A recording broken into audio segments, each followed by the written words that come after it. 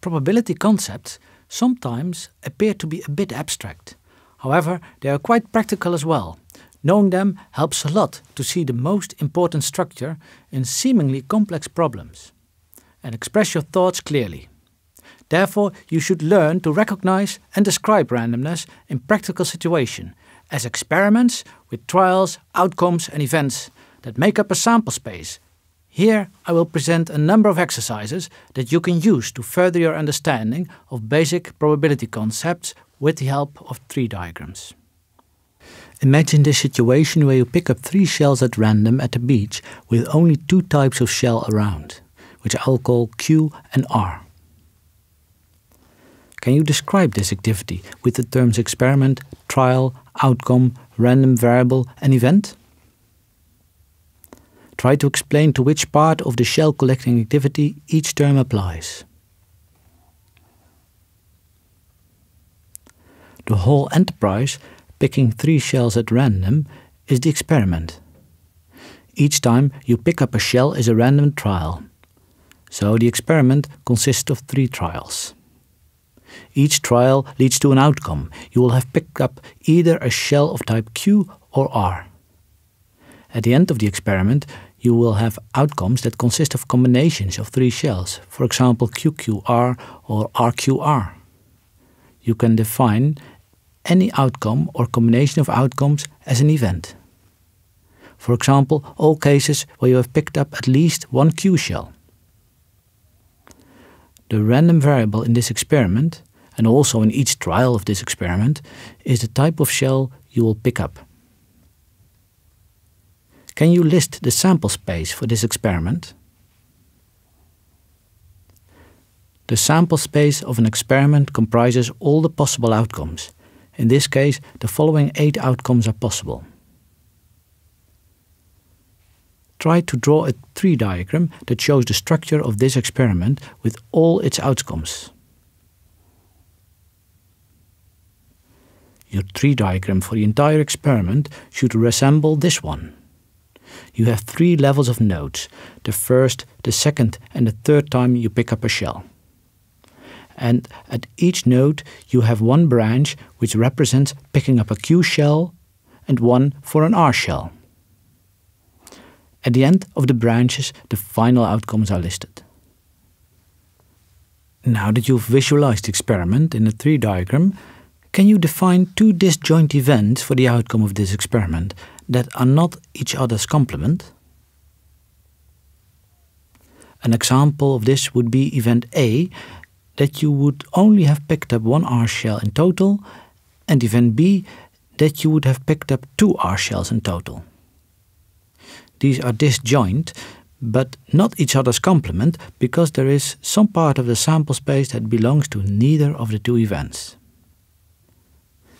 Can you also give an example of an event for the outcome of this experiment and its complement as well? An example of complementary events could be event A, where you would have picked up two or more R shells versus B of picking up one or zero R shells in total.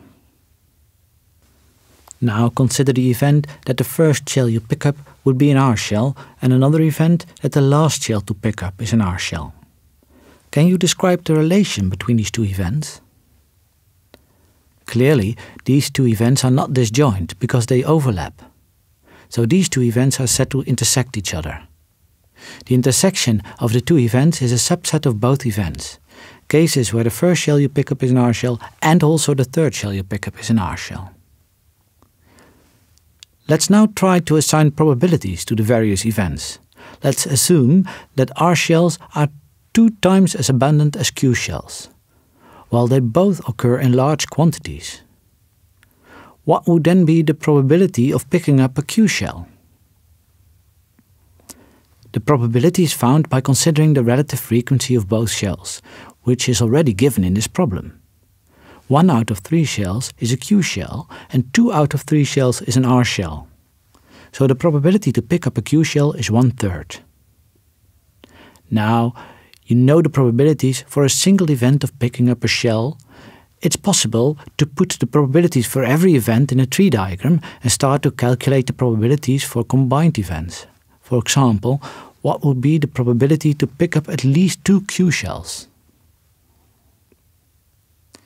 The event of picking up at least two Q shells contains the sequences QQR, QRQ, RQQ, and QQQ as outcome.